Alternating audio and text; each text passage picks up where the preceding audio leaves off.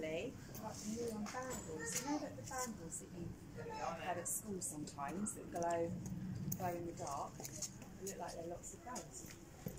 You lots of those joined together maybe. And glow sticks.